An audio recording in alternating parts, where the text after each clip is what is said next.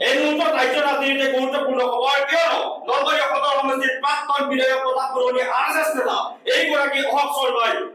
তিনি বছৰ লগে লগে তেওঁ নিজ বাসভৱনত সংবাদযোগে প্ৰকাশ কৰিব যে তেওঁ কোন তাৰিখত অৰ্থাৎ কোনদিনা তেওঁ এই ভাৰতীয় জনতা পাৰ্টীৰ দল ত্যাগ কৰি পেলাই আন্দোলন যোগদান কৰিব তাৰ এক মুহূৰ্তত এইগৰাকী প্ৰাক্তন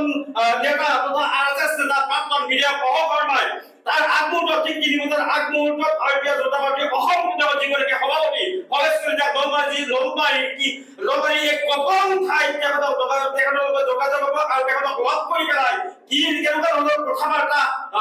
এইগৰাকী ভৱেশ কলিতাৰ লগত হ'ব যে তেখেতক আস্থাত ল'ব পাৰে নাই? আৰু আনহাতে এইগৰাকী অহক শৰ্মাই কেনেকুৱা ধৰণৰ ক্ষোভ প্ৰকাশ কৰে ভাৰতীয় জনতা পাৰ্টীৰ অসম প্ৰদেশৰ সভাপতি ভৱেশ কলিতাৰ কিন্তু ইয়াৰ পিছত দেখিবলৈ পোৱা গৈছে সৰ্বত্ৰে নলবাৰীৰ যি কংগ্ৰেছ এই কংগ্ৰেছ আচলতে উৎসৱমুখৰ পৰিৱেশ হৈছে কিয়নো পুৰণি যিগৰাকী আৰ এছ নেতা আৰু আৰ এছ এছ নেতাক যেতিয়া ভাৰতীয় জনতা পাৰ্টীৰ দল ত্যাগ এই দল ত্যাগে সৰ্বত্ৰে নলবাৰীৰ সৰ্বত্ৰে আচলতে যি বিৰোধী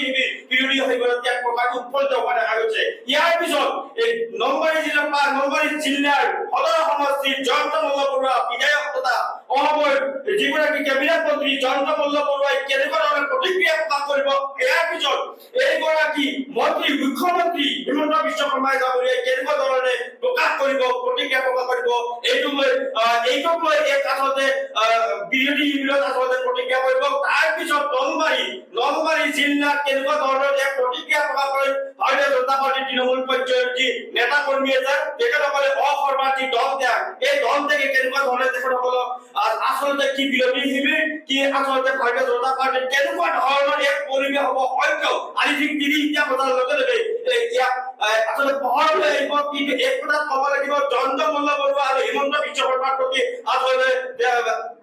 এইগৰাকী প্ৰাক্তন বিধায়ক অসমৰ আচলতে ক্ষোভ উজাৰিছিল কেইবাদিনো ধৰি। যদিও কিবা এটা আশাত এইগৰাকী বিধায়ক প্ৰাক্তন বিধায়ক অসম শৰ্মাই কাৰণ লোকসভা নিৰ্বাচনৰ কাৰণে তেখেতে বৰপেটা সমষ্টিৰ পৰা যি টিকেট প্ৰত্যাশী আছিল হয়তো তেখেতক তেখেতে পোৱা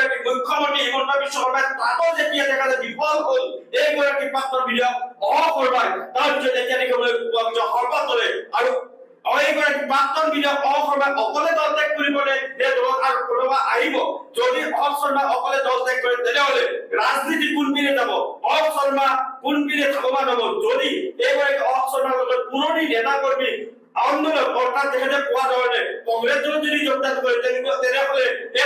করে তেনেহলে এক প্রকার জন্ত মল্ল বলে দি সকলকে আসলে খেতি হইব এক প্রকার চাই থাকিব দিয়ে দিছি